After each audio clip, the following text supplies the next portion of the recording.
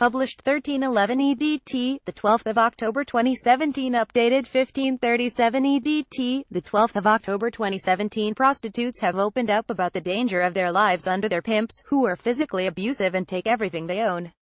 In Louis Theroux's latest documentary Dark States Trafficking Sex the filmmaker meets the sex workers of West Houston, Texas, who are preyed upon by pimps who exploit them for sex and money. Theroux meets Nikki, 37, who gives every penny she earns to her abusive pimp Trouble, and says he could kill her if she makes a mistake. Also in the episode is Savannah, who started prostituting herself at 16 when a pimp found her under the influence of drugs and exploited her. Denisha says she was molested at just three years old and refuses to be judged for doing sex work, and has very conflicting feelings about her incarcerated pimp. Louis Theroux meets Nikki, 37, who answers to a violent pimp called Trouble, who beats her when she disobeys him. Nikki Nikki, who pretends to be 27 on the escorting site she uses, charges $200 an hour for her services but gives everything away to her pimp Trouble. Trouble physically attacks Nikki when she is disrespectful to her, and punches her in the face when he feels she's tricked him out of money. Nikki has made him more than $150,000 and he pays for her apartment and clothes. At one point she should throw the texts she receives from Trouble, who calls her his bee in every one.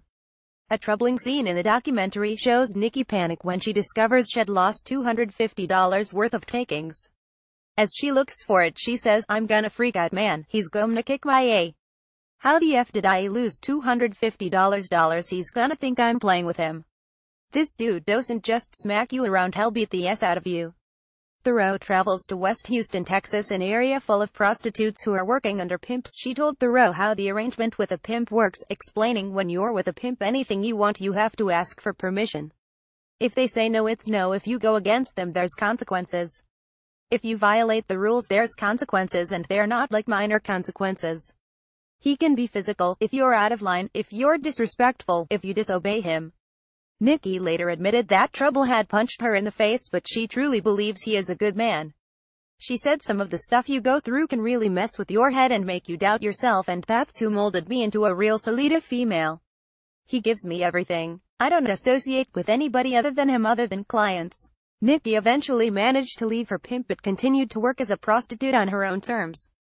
Trouble was arrested and charged with trafficking and compelling the proposition of a number of women. Savannah Savannah, 18, was just 16 when she met her first pimp, who plied her with drugs and put her pictures on an escorting website just an hour after meeting her Savannah, 18, began prostituting herself when she was just 16, after her pimp found her high and vulnerable at a party.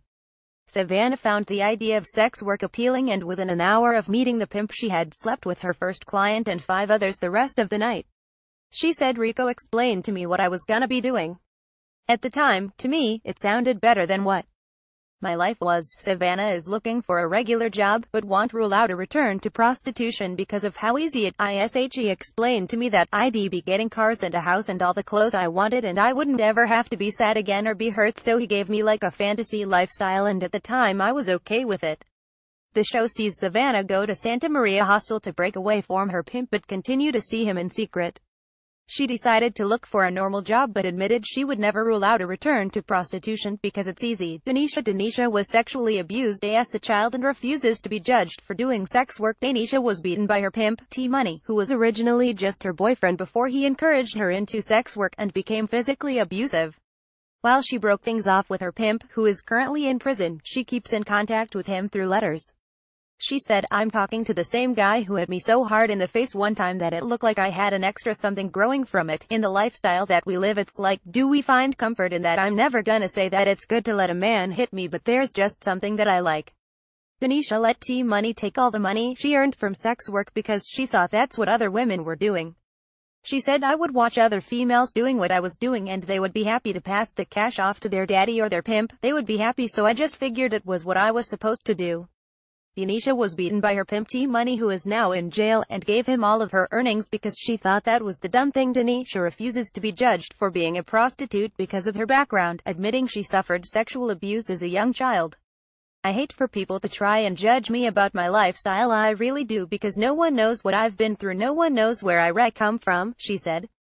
I thought the person that I love was the one that was gonna save me, rescue me from all the feeling and emotions that I endured inside of me. Louis Theroux Dark States Trafficking Sex airs this Sunday at 9 p.m. on BBC 2.